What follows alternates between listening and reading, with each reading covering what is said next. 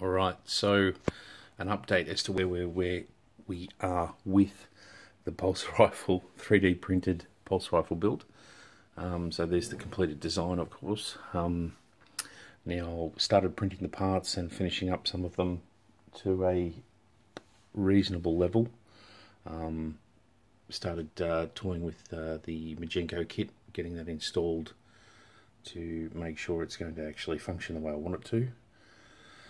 Um, the space cage section at the front has been um, glued and sanded and uh, pump grip fitted uh, and that's all functioning as it should.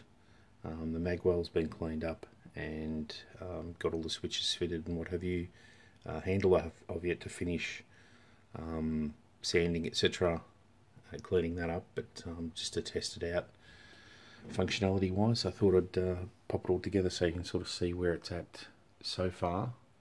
Um, and we'll just run through the functionality of the Majenko kit um, as it stands at the moment. So you've got your uh, counter which set, set to 95 um, when you there's a little speaker connected to it. When you first connect up your power you get a let me see if I can replicate it, do it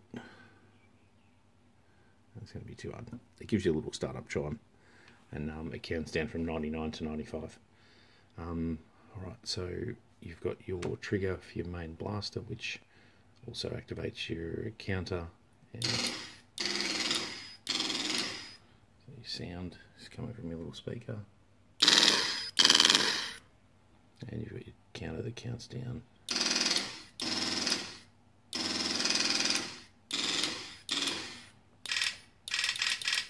once you get to zero. You get the empties click. Now the shotgun section is done on a has a separate counter.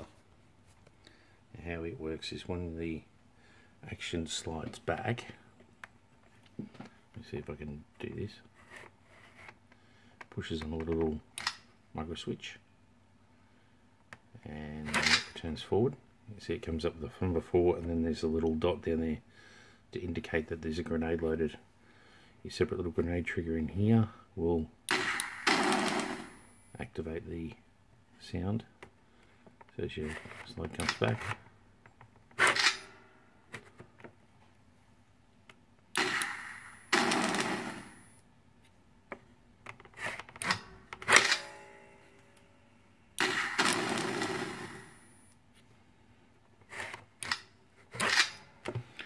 And you've got your muzzle flash in the end little LEDs in there if you can see them when you fire So, um, once you run out of grenades, um, you'll get an empty click on that as well.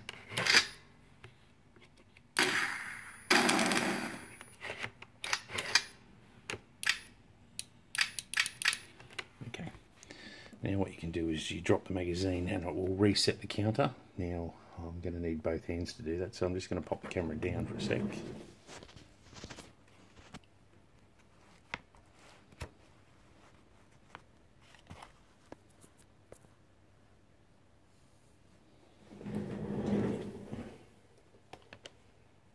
rare earth magnet that holds this in is, um, does quite a good job.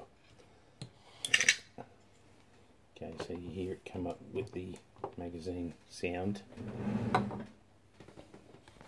And you get two lines appear. And then once you reinsert your magazine,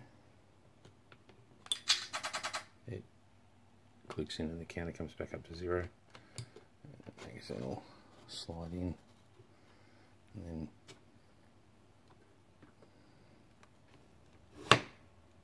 clicks into place the magnets hold it into place.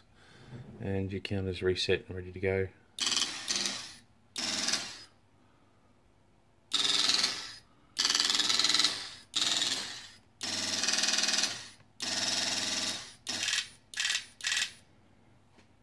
got the grenade launcher